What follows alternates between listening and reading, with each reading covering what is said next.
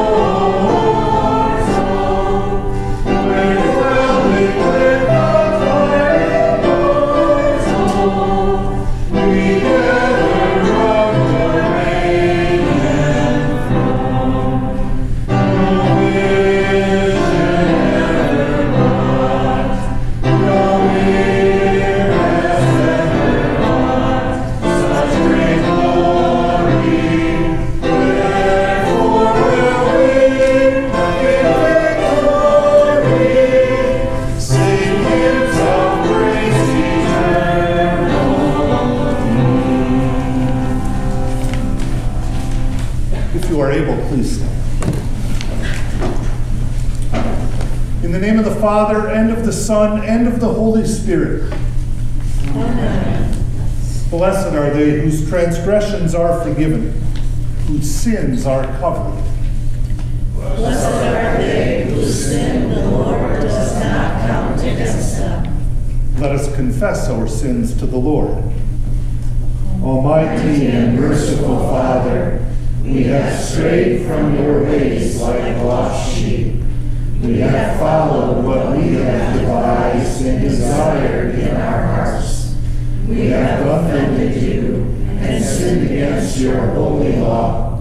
We have done those things that we should not have done, and we have not done those things that we should have done.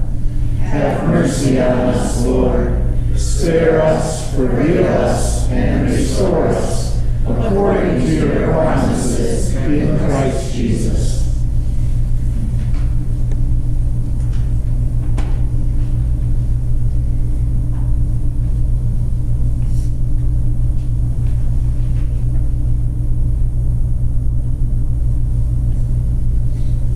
God, our merciful Father, has forgiven all your sins. He sent his Son, Jesus Christ, to be our Redeemer and Savior. Jesus paid the penalty for our guilt by his death on the cross and freed us from death by his resurrection from the grave. We have peace with God now and forever. Amen. In peace, let us pray to the Lord. Lord the peace from above and for our salvation, let us pray to the Lord. Lord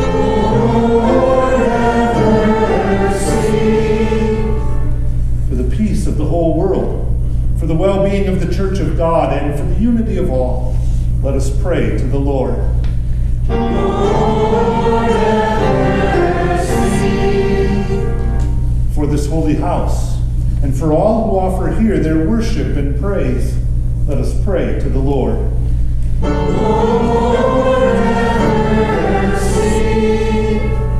Help, save, comfort, and defend us, gracious Lord.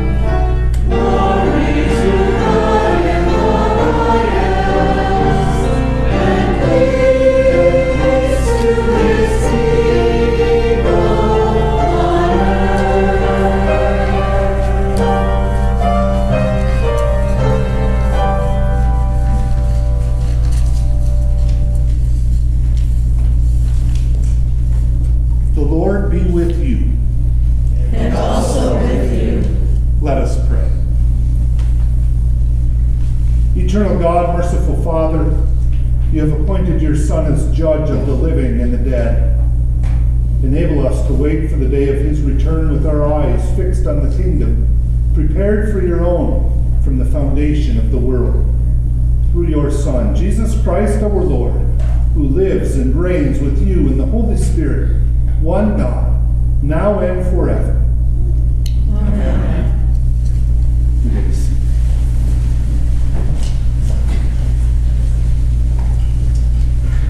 First lesson for today from the book of the prophet Habakkuk, chapters 1 and 2, the first couple of verses of each chapter. A lesson we can relate to as Habakkuk gathered the, the thoughts of his people. along. Why must we continue to suffer this way?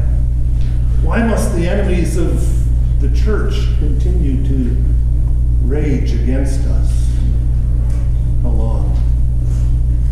And God gives his answer to. The prophecy that Habakkuk the prophet received. How long, Lord, must I call for help, you do not listen? Or cry out to you violence, but you do not save? Why do you make me look at injustice? Why do you tolerate wrongdoing? Destruction and violence are before me. There is strife and conflict abounds. I will stand at my watch and station myself on the ramparts. I will look to see what he will say to me and what answer I am to give to this complaint. Then the Lord replied, Write down the revelation and make it plain on tablets so that a herald may run with it. For the revelation awaits an appointed time. It speaks of the end and will not prove false. Though it linger, wait for it. It will certainly come and will not delay. See, the enemy is puffed up. His desires are not upright.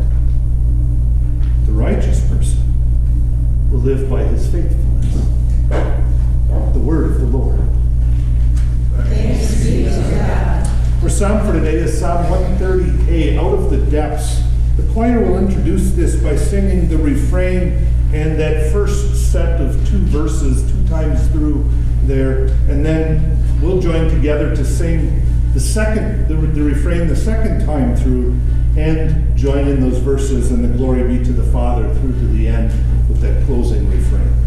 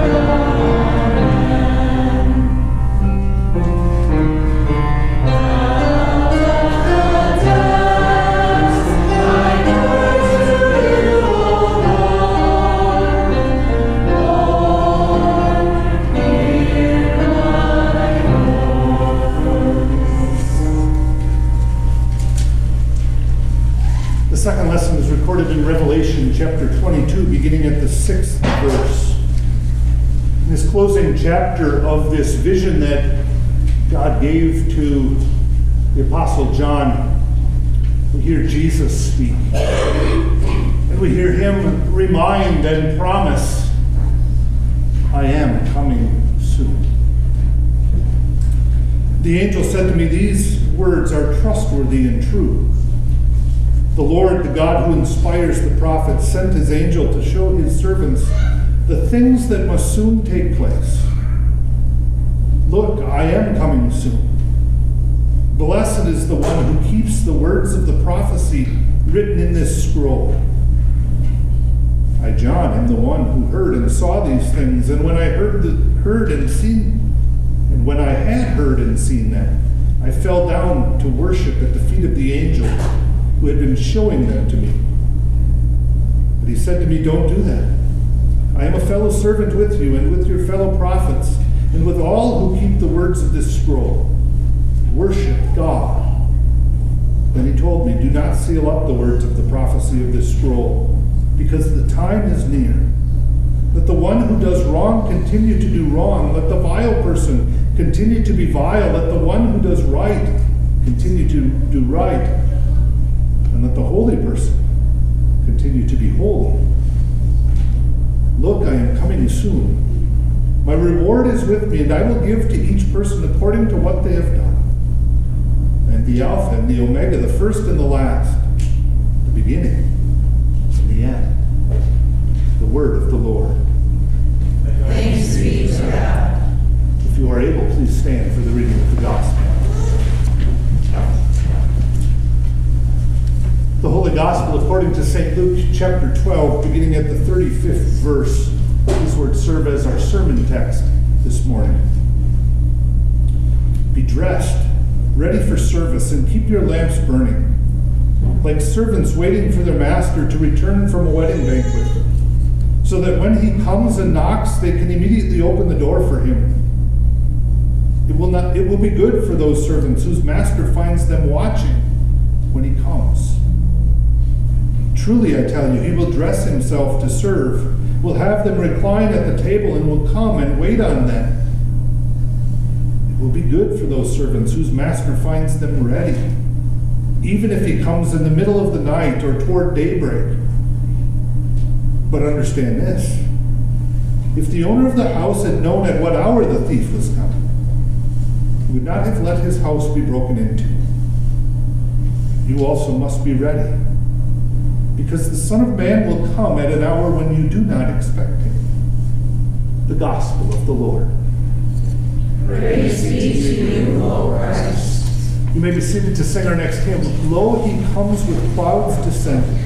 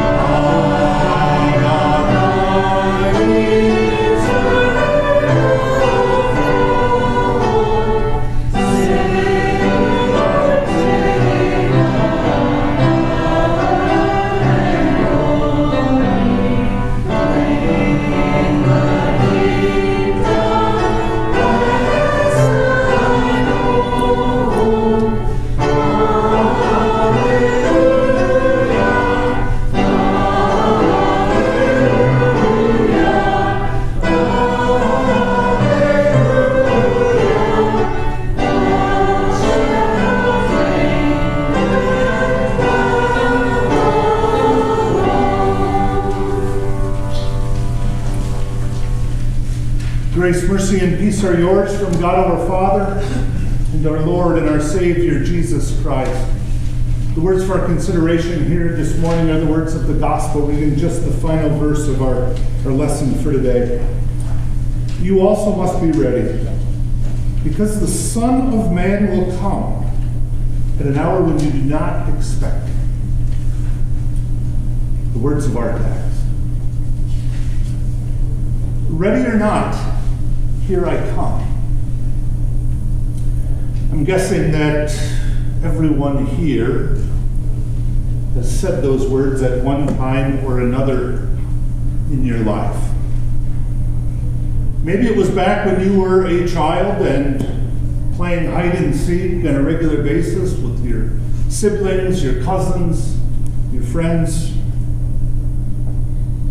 Maybe it's been as you've had children of your own and they've wanted to play hide and seek. Ready or not, here I come. Those words come after that time of counting. One, two, three, all the way up to 10 or 20 or whatever it is that you've set as the number that the person who's it, the one who's going to be seeking, is going to count to until they come and try to find you. And it's a mad dash, isn't it? As the rest of the kids scramble, the older ones, they know all the good spots. The younger ones, they kind of fumble around. Hide and seek. They get to their spots. The kids who enjoy the game, who are into it, they are still, quiet. There's always that one, though, it seems, huh? Can't quite find his spot. He runs to the first one that he wants to use, and his older brother's already there. He hustles off to another one, dives behind the couch just as he's getting settled. Here I come. And the curtains are still moving as the one who's seeking turns around to start looking. And he finds him quickly. They tried hard. But they just weren't quite ready. They were easy to find because they weren't settled. They weren't still. In our lesson for today, Jesus tells us be still as we wait to be ready for his coming. But we ask today, what does readiness really look like? Jesus had just finished telling his disciples that the Father is pleased to give them, those who follow him, who listen to him, He's pleased to give them the kingdom. It's coming. It's theirs. The end is not in doubt. And what was true for those disciples is true for us too. Heaven is ours. We merely wait for God's timing to make it so in terms of its fullness, of the glory that's to be revealed to us. And as we wait, did you catch what our focus is to be? It's hard to miss it in these six verses from Luke chapter 12 because Jesus mentions it three times. Be ready. Be waiting. Be watching. It's so important. So important that Jesus repeats it again and again and again to his disciples and to us too. Be ready. And it's important because about the only thing that Jesus hasn't told us about the last day is when. The closest he comes is just to say, I am coming soon. But what does that mean? To a God for whom a thousand years are like a day, and a day is like a thousand years, what is soon? He doesn't tell us. But he does tell us that it will come unexpectedly like a thief. In playing hide and seek, there's always that one kid, it seems, who's sort of complacent about it. He's not maybe really into the game. It's not his favorite thing. He'd rather be out in the snow with a football than inside playing hide and seek. And when the counter gets to three or four, starts to scramble and go as fast as he can. The one kid is the one who's just kind of dragging his feet, sauntering off, sort of nonchalant about it. I'll get to a spot. I'll find a place.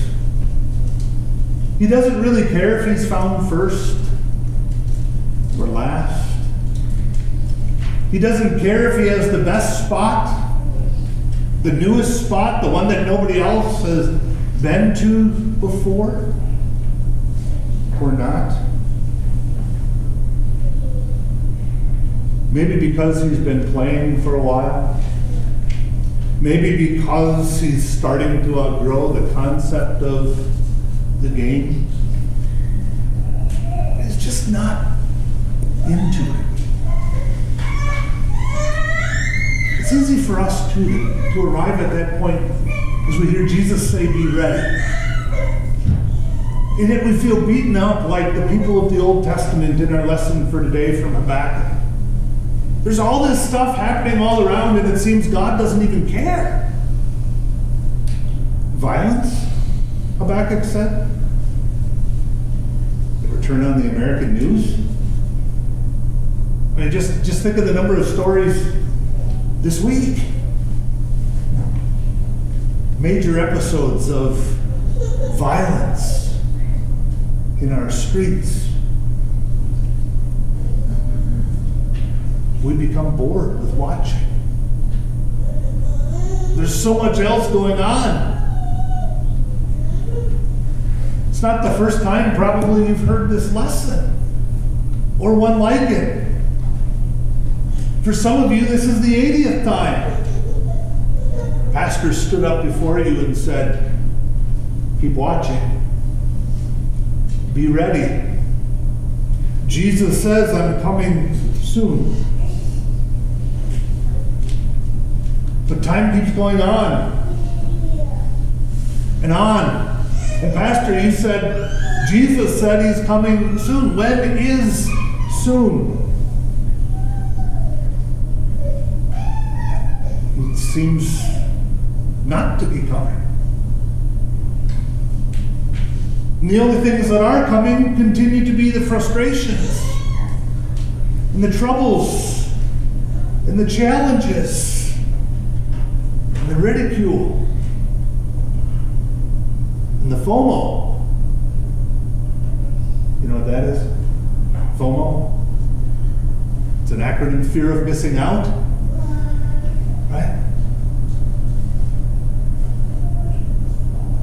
We hear you.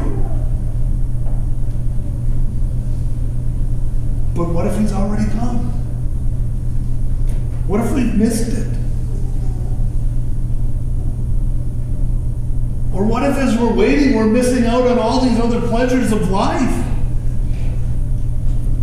all these other things that our friends, our neighbors, our coworkers are doing and involved in, and we sit here waiting and waiting and waiting because Jesus said, I'm coming soon.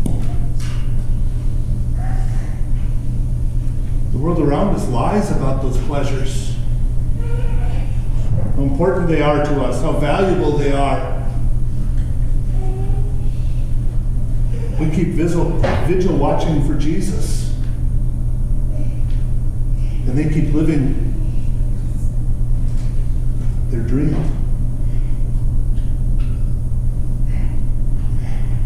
What are we missing? Is he coming? It's hard to keep watching and waiting and being ready. Go back to that game of hide and seek again for a moment. There's often that kid too, who really is pretty good at the game. He finds all the newest, smallest spots he can he can creep into. And as the seeker goes looking for the rest, he gets tired of waiting. He's found such a good spot that the seeker can't find him. And he finds the first. And he starts to get antsy. And he finds the second, and pretty soon the kid who's in the perfect spot, he just jumps out and he's like, I'm here. I didn't think you'd find me. Gives up. He's distracted. He can't take it anymore that all the other kids have been found and here he is, he's bored. He couldn't wait. It's hard for us to wait too. We've become accustomed to getting what we want when we want it. We live in such a society of immediacy that we're gratified instantaneously as soon as we want it. And who of us doesn't want Jesus and heaven?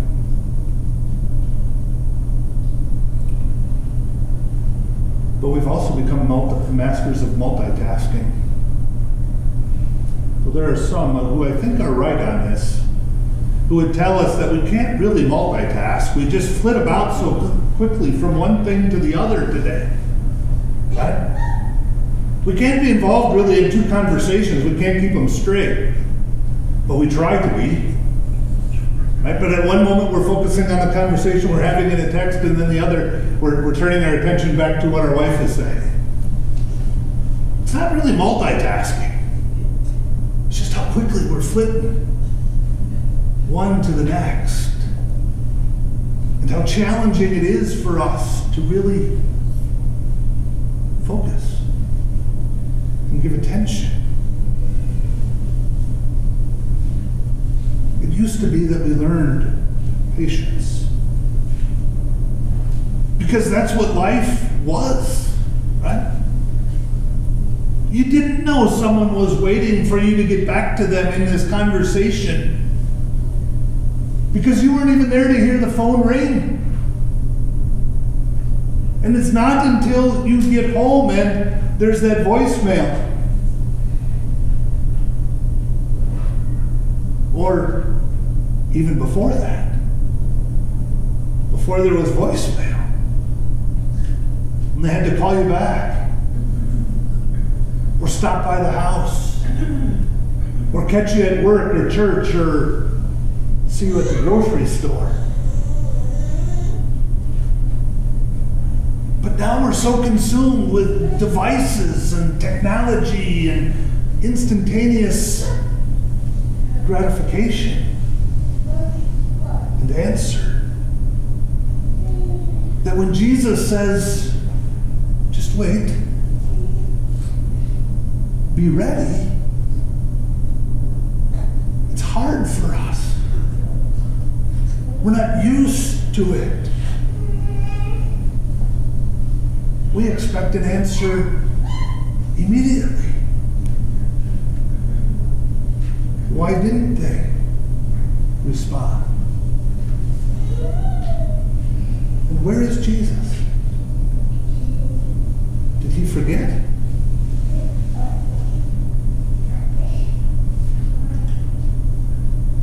We've heard again and again today that he's promised to return. And when God promises, God does. And so it is that we just must be ready, waiting for his glorious return. But what does that readiness really look like? Jesus says, Be dressed and ready for service. Keep your lamps burning. It's a picture that he's using here. Don't be in the shower. Don't be just lazing around. And I can't help but wonder if when Jesus says, be dressed, he doesn't have in mind the clothes that he's given us, the robe of his righteousness, a reminder to keep that wrapped around you. Don't be swayed by all of the things that swirl around in the world, by all of the novel and unique ways that people are trying to get God's attention and earn his favor. Don't be swayed by a world that constantly turns to our own reason and human utility.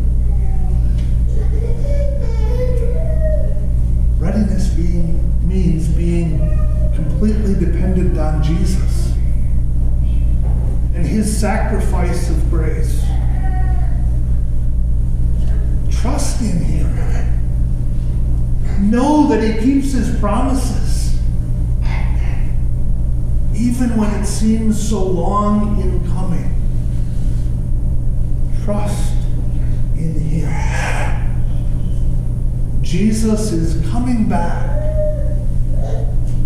we must be ready. In the military, they train. They train just for this, right? So that at a moment's notice, when the call goes out and the warning sirens go off, whatever steps necessary to neutralize the threat can be accomplished. I'm always amazed at how quickly we can get fighter jets and bombers scrambled and into the air. And the Russians fly a little too close to the coast of Alaska. But they prepare. They train. They exercise. Jesus is coming unexpectedly, like a thief. You and I must continue to prepare for Jesus' return. We must continue to be in the Word. There, He equips us and speaks to us and teaches us and trains us so that, in fact, we are ready when He comes again as he has surely promised. Amen. Please stand.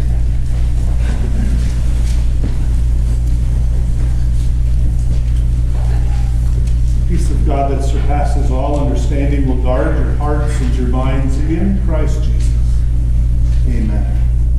We join together to confess our Christian faith using the words of the Apostles' Creed. I believe in God the Father Almighty, maker of heaven and earth.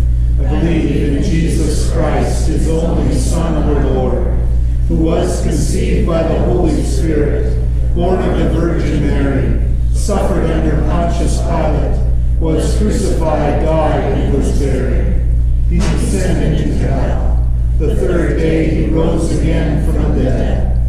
He ascended into heaven, and is seated at the right hand of God the Father Almighty. From there he will come to judge the living and the dead. I believe in the Holy Spirit, the holy Christian church, the communion of saints, the forgiveness of sins, the resurrection of the body, and the life everlasting. Amen. You may be seated at this. Prayer of the church. We'll use the responsive prayer printed in your service folder. Eternal Lord, give us peace as we ponder the good news that you forgive our sins in Christ. Lead us to see clearly the path you have laid out for us. Work in us so that we believe and live the word we have heard today. Provide courage and compassion to all who preach and teach your word. Fill them with a love like yours as they proclaim your grace to us and all people. Move us to love all ministers of the word wherever they serve. Guard and guide the families of our congregation. Lead husbands and wives to love each other with commitment, respect, and patience. Give patience, give parents, help parents to grasp the eternal value of keeping their children close to Jesus all their lives. Grant joy to those who are single and make them a blessing to others. Protect us from the temptations that surround us. Give us pure hearts and minds. Provide wisdom and insight to those who make laws and set policies. Give us respect for those who protect us from crime. Lead us to value the rights of our fellow citizens and defend those who cannot defend themselves. Bless our land with peace and prosperity, so that the gospel may be proclaimed to all. Give passion to share the story of your love with our family and friends. Overcome unbelief and open the hearts of people everywhere to believe the good news that Jesus has forgiven their sins and opened the gates of heaven. Fill joy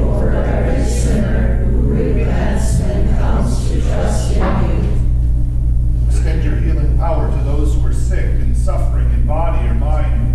Pour out your special blessing on all who will travel this holiday week for, for Thanksgiving.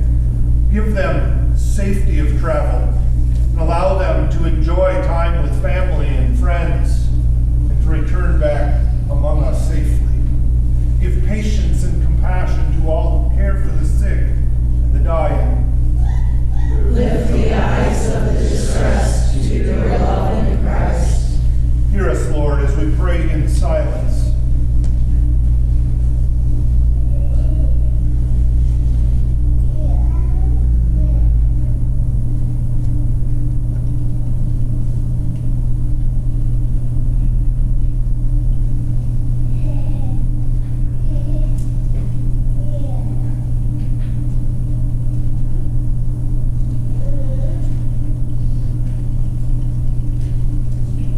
Gracious God, you govern and direct all things, and you love all people.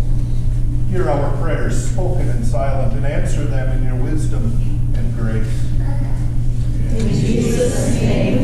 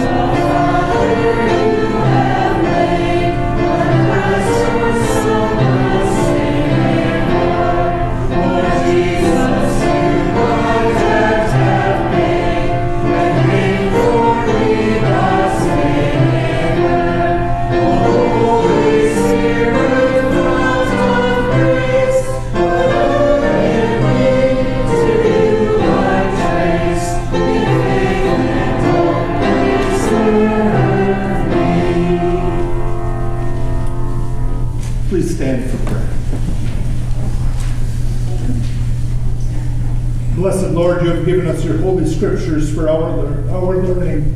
May we so hear them, read, learn, and take them to heart, that being strengthened and comforted by your holy word, we may cling to the blessed hope of everlasting life. Through Jesus Christ our Lord, who lives and reigns with you in the Holy Spirit, one God, now and forever. Amen. Our Father, who art in heaven, hallowed be thy name. Thy kingdom come, thy will be done on earth as it is in heaven. Give us this day our daily bread, and forgive us our trespasses, as we forgive those who trespass against us. And lead us not into temptation, but deliver us from evil. For thine is the kingdom, and the power, and the glory, forever and ever. Amen. The Lord bless you and keep you. The Lord make his face shine on you and be gracious to you. The Lord look on you with favor and give you peace. You may be seated for our closing hymn. It is well with my soul.